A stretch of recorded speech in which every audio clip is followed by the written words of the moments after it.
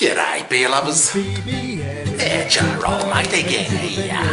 VBN. If you make me down a fell so don't hesitate.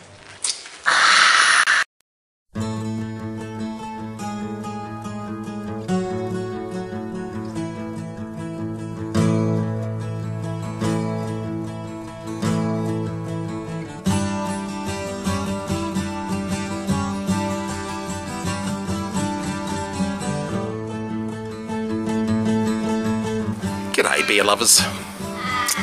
Today I'm in a suburb of Perth called Applecross.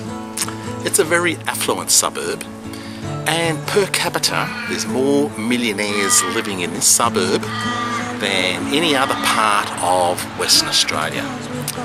Now, Applecross is seven kilometres south of the central business district of Perth, and it's bounded by Canning Highway and the Swan River. The suburb of Applecross takes its name from the Applecross Peninsula, in the, which is on the northwest coast of Scotland. And many of the streets in this suburb have names from that area of Scotland.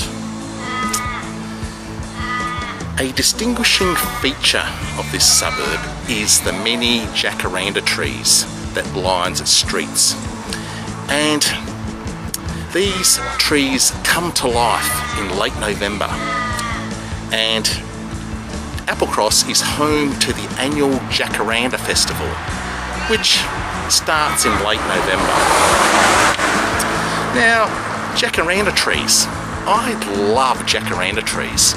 They're actually a native to Central America uh, and the subtropical areas of South America. You know, in the Caribbean islands, yeah, you find jacaranda trees. You know, like the islands of Cuba, Hispaniola, Jamaica, the Bahamas, and the top of South America. You know, that's where you find jacaranda trees. That's where they came from. But now they grow all over the world, and they grow very well in Perth. There's actually 49 different species of jacaranda trees. So I'm going to take you around the streets of Applecross, where we've got these beautiful flowering jacaranda trees, which this time of year is Perth's Christmas tree. As you'll see in this video, the jacaranda trees are really turning it on the, for this particular festive season. We've got these beautiful purple blossoms on these trees and they are constantly falling down. So it's like you've got this purple rain which is constantly falling down from the trees. Okay, follow me. I'm going to show you around this suburb called Applecross. Behind me is a very exclusive yacht club. It's called the South of Perth Yacht Club and it's situated here on the banks of the Swan River here in Applecross and it's strictly members only behind those gates. Behind me is Western Australia's famous black swans. And that's why the river in Perth is called the Swan River. When the first explorers came to this area, they named it the Swan River Colony because of these black swans that inhabited the river system here. And later it became known as Perth.